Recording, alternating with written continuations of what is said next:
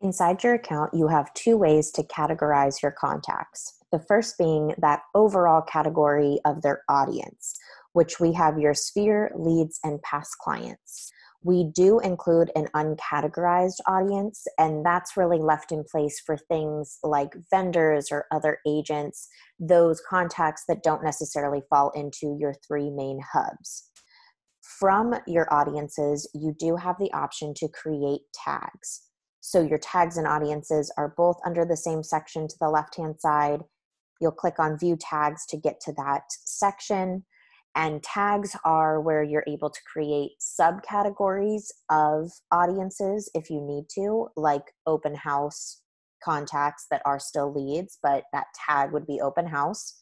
You can also create your own category like previously other agents or vendors and not have that tag associate with an audience in any way. So to create a tag, you'll click create tag in the upper right hand corner and that name is going to be whatever you want that tag to be. So open house, and then you have the option to link it to an audience or not. So my open house contacts would obviously be leads. And what you're doing by clicking the save button is basically saying, hey, anybody that's tagged as open house, push to the leads audience.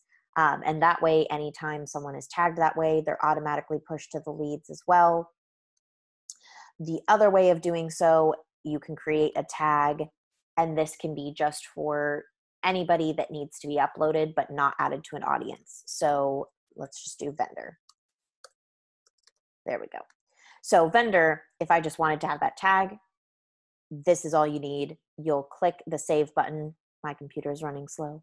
Um, but you'll click the save button. You can upload to the vendor tag. You'll be good to go. It won't attach to an audience. Um, the section that says, Does this tag need a leads inbox? That's really if you need to have email parsing set up for another system or not. That we can dive deeper into if you need to, or feel free to reach out to our support team. Um, but otherwise, you're free to create as many tags as you would like within your account. It's definitely for how it helps you categorize your contacts.